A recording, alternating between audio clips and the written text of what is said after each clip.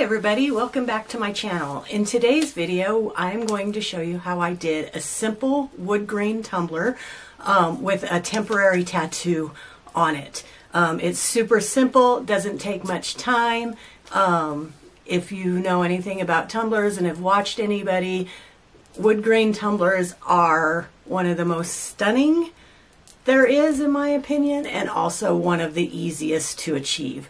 Um, but sit back, watch the video, enjoy, and I will see you at the end with the final result.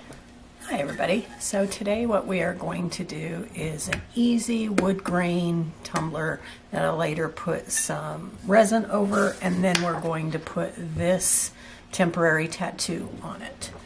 But if you've never done or seen a wood grain, it's super easy. I sanded and spray painted my tumbler can spray paint it white. I like to do this uh, caramel color. It's a little bit easier um, for the wood grain to pick up those dark hues.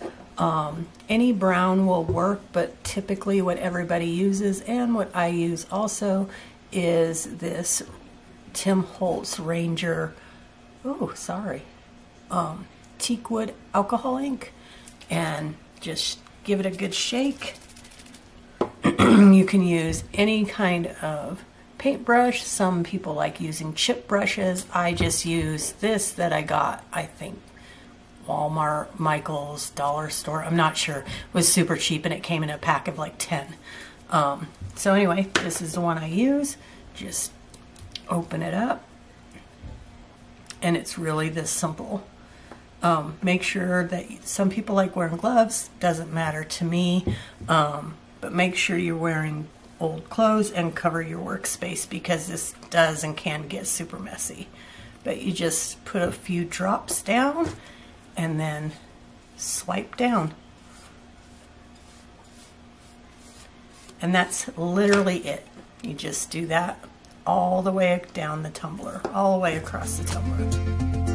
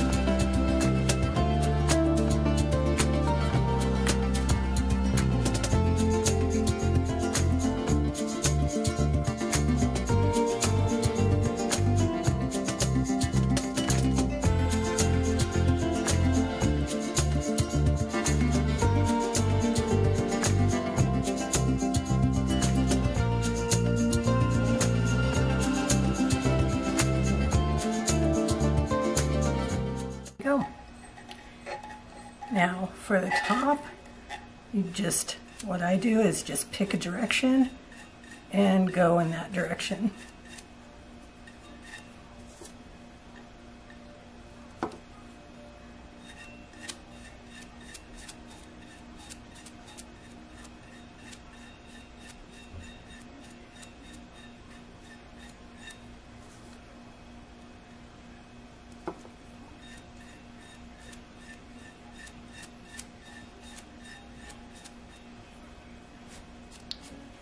And it's as easy as that.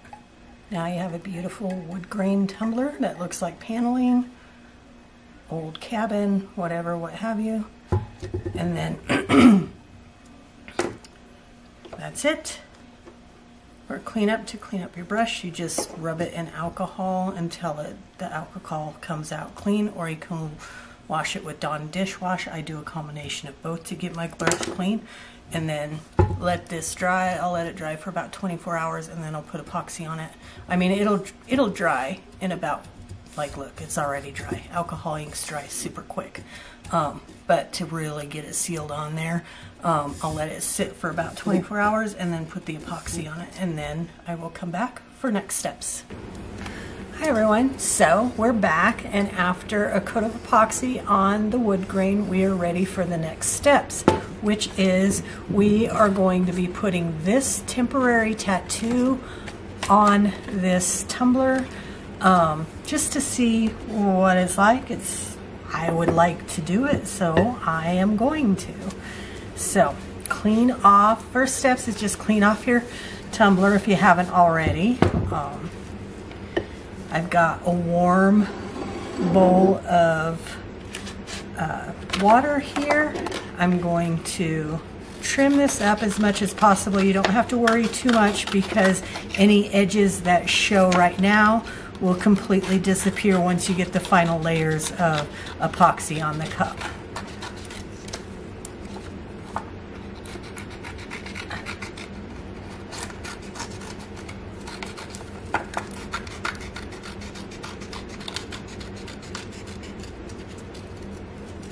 Okay, now what I'm going to do is try to find where I want to position this because once you take this clear protective coating off of it, you are no longer going to be able to um, ma manipulate it or move it around because this becomes very sticky, which is what sticks it onto here.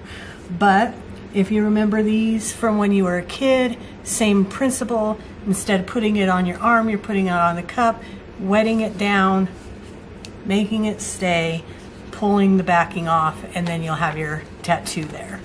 So once I get this where I think I want it, and I always try to leave the straight edge so that I know it's going to be as straight as I can possibly get it, which is not, you. I mean, I'm only human, right? So now we'll see.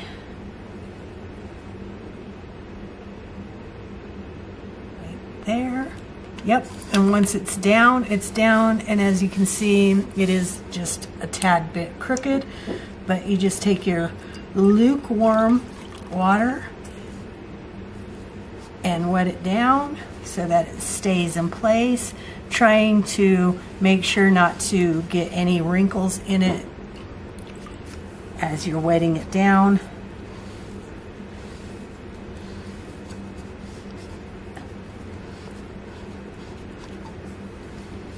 And then I just hold it in place for a couple of seconds and once it feels like it's going to release, just take it, take the backing, slide it right off. And then just if you, know, very carefully make sure if there's any bubbles or anything, can work them out with one of these squeegee makeup brushes. Just make sure that you get it wet so that you know, you're not pulling on the tattoo, you're not pulling on it. You do the same principle as you would for a uh, water slide. And once it's done, you just leave it set to dry. I really like that. I think it looks really good with the wood backing.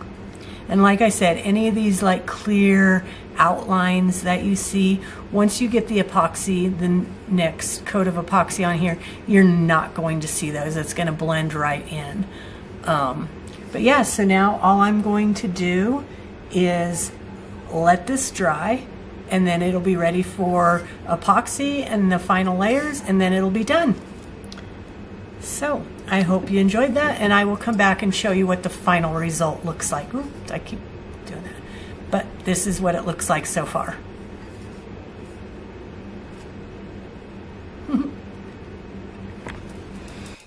Hi everybody, thank you for watching. This is the final result. As you can see, it's just beautiful. Um, the wood grain effect that I got looks like paneling and then with the temporary tattoo put on there, I just love it. Um, I hope you also enjoyed it. Super simple technique, easy to achieve. If you have any questions, please let me know in the comments below. Hit the like button, subscribe, and I will see you in the next one. Have a good day.